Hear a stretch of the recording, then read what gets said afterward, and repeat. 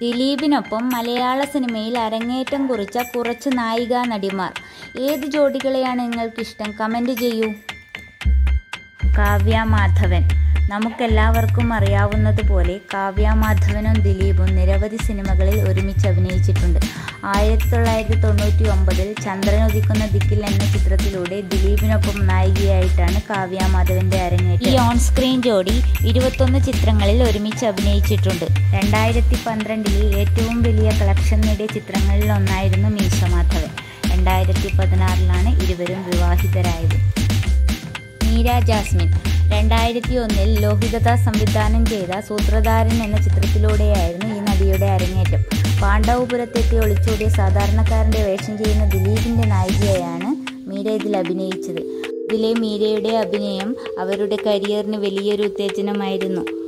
Gramophone വിനോദയാത്ര Calcutta news പെരുമഴക്കാലം തുടങ്ങിയ നിരവധി ചിത്രങ്ങളിൽ ദിലീപും മീരയും ഒന്നിച്ചഭിനയിച്ചു നവ്യ നായർ രണ്ടായിരത്തി ഒന്നിൽ ഇഷ്ടം എന്ന സിനിമയിൽ ദിലീപിന്റെ നായികയായിട്ടായിരുന്നു അരങ്ങേറ്റം. അന്ന് നവ്യ നായർ സ്കൂളിൽ പഠിക്കുകയായിരുന്നു. ഇരുവരുടെയും സ്ക്രീൻ ജോഡിക്ക് മലയാള സിനിമാ പ്രേക്ഷകർക്കിടയിൽ വലിയ സ്വീകാര്യത ലഭിച്ചു. മഴത്തുള്ളിക്കിലകം കല്യാണരാമൻ ഗ്രാമഫോൺ പട്ടണത്തിൽ സുന്ദരൻ പാണ്ടിപ്പട തുടങ്ങിയ ചിത്രങ്ങളിൽ ഇരുവരും ഒരുമിച്ച് അഭിനയിച്ചു. രണ്ടായിരത്തി ഒന്നിലെ ബോക്സ് ഓഫീസ് വിജയങ്ങളിൽ ഒന്നായിരുന്നു ഇഷ്ടം. മഞ്ഞ. രണ്ടായിരത്തിൽ പുറത്തിറങ്ങിയ ദിലീപ് ചിത്രം ജോക്കറിലൂടെയായിരുന്നു മഞ്ഞ മലയാളത്തിൽ നായികയായി അരങ്ങേറ്റം കുറിച്ചത്.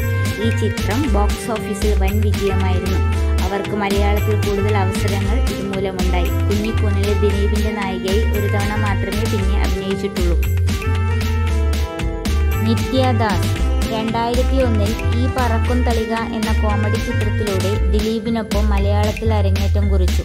രണ്ടായിരത്തി ഒന്നിൽ ദിലീപിന് മറ്റൊരു ഹിറ്റ് സമ്മാനിച്ച ചിത്രം പുതുമുഖ നായികയുമായി. കുഞ്ഞിക്കൂനൻ കഥാവശേഷം തുടങ്ങിയ ചിത്രങ്ങളിലും ദിലീപിനൊപ്പം നിത്യ അഭിനയിച്ചിരുന്നു. സംവൃത സുനിൽ. രണ്ടായിരത്തി നാലിൽ പുറത്തിറങ്ങിയ ലാൽ ജോസ് ചിത്രമായ രസികനിൽ ദിലീപിന്റെ നായികയായിട്ടായിരുന്നു സംവൃതയുടെ അരങ്ങേറ്റം. സിനിമ ബോക്സ് ഓഫീസിൽ സാമ്പത്തികമായി വിജയിച്ചില്ലെങ്കിലും അവരുടെ അഭിനയത്തിന് നല്ല സ്വീകാര്യത ലഭിച്ചു. രണ്ടായിരത്തി പന്ത്രണ്ടിലെ വിവാഹം വരെ മലയാളത്തിൽ മുപ്പതിലധികം ചിത്രങ്ങളിൽ അഭിനയിച്ചു. റോമിയോ അരികെ എന്നീ രണ്ട് ചിത്രങ്ങളിൽ കൂടി ദിലീപിനൊപ്പം അഭിനയിച്ചിട്ടുണ്ട്. മീര നന്ദൻ രണ്ടായിരത്തി എട്ടിൽ പുറത്തിറങ്ങിയ ലാൽ ജോസ് ചിത്രമായ മുല്ലയിൽ ദിലീപിന്റെ നായികയായി അഭിനയിച്ചുകൊണ്ടാണ് മീരയുടെ അരങ്ങേറ്റം. ചിത്രം ബോക്സ് ഓഫീസിൽ വൻ വിജയമായില്ലെങ്കിലും നിരവധി സിനിമകളുടെ ഭാഗമാകാൻ ഈ താരത്തിന് അവസരങ്ങൾ ലഭിച്ചിട്ടുണ്ട്.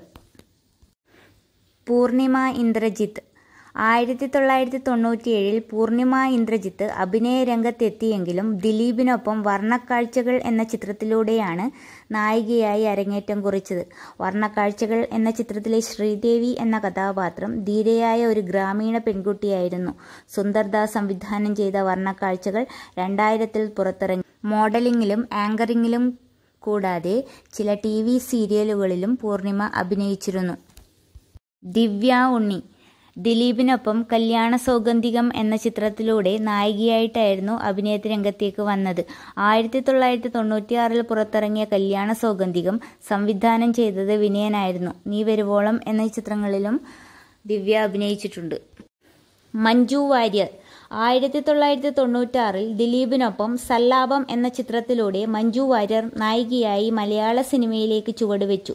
സുന്ദർദാസ് സംവിധാനം ചെയ്ത സല്ലാപം ദിലീപിന്റെയും മഞ്ജുവിന്റെയും പ്രശസ്തിയിലേക്ക് വഴിവെച്ചു.